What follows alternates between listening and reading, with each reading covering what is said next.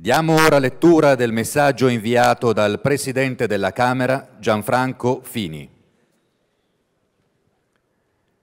La ringrazio vivamente, gentile Presidente, per il gradito invito a partecipare all'Assemblea nazionale della Confederazione Nazionale dell'Artigianato e della Piccola e Media Impresa, che avrà luogo a Roma il 15 novembre 2012. Le imprese artigiane e le piccole e medie imprese costituiscono il tradizionale motore dell'economia italiana, caratterizzata spesso da standard produttivi di elevata qualità, pregevole espressione del nostro Made in Italy. La perdurante crisi economica e finanziaria internazionale ha messo a dura prova il nostro sistema produttivo, determinando in molti casi un sensibile ridimensionamento del fatturato e dell'occupazione, che ha inciso sui settori da anni duramente impegnati per difendere e consolidare le proprie quote di mercato.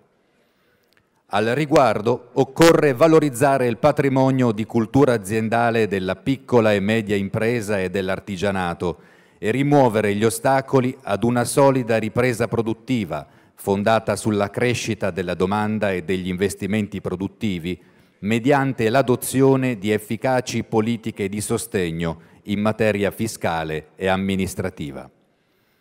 In una situazione in cui è necessaria un'attenta individuazione delle priorità nella gestione delle risorse pubbliche, ritengo essenziale che sia accentuato l'impegno volto a rendere la nostra pubblica amministrazione più snella, agile ed efficiente, in modo che essa sia davvero al servizio dei cittadini e delle imprese.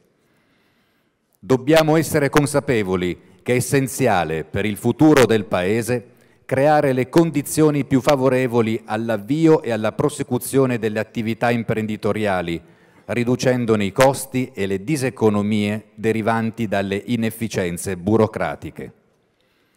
Le istituzioni e gli operatori economici devono impegnarsi per favorire gli investimenti aziendali nella ricerca e nell'innovazione tecnologica e quelli volti a promuovere l'incremento dimensionale e qualitativo delle nostre attività produttive.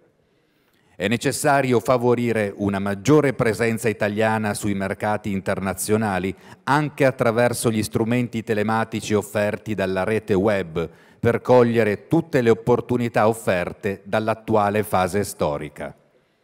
Nel formulare l'auspicio che i lavori dell'Assemblea nazionale offrano un importante contributo di approfondimento e di proposta, in vista di una rapida ripresa del nostro tessuto produttivo, desidero inviare a voi tutti i miei più cordiali saluti ed un sincero augurio di buon lavoro. Gianfranco Fini.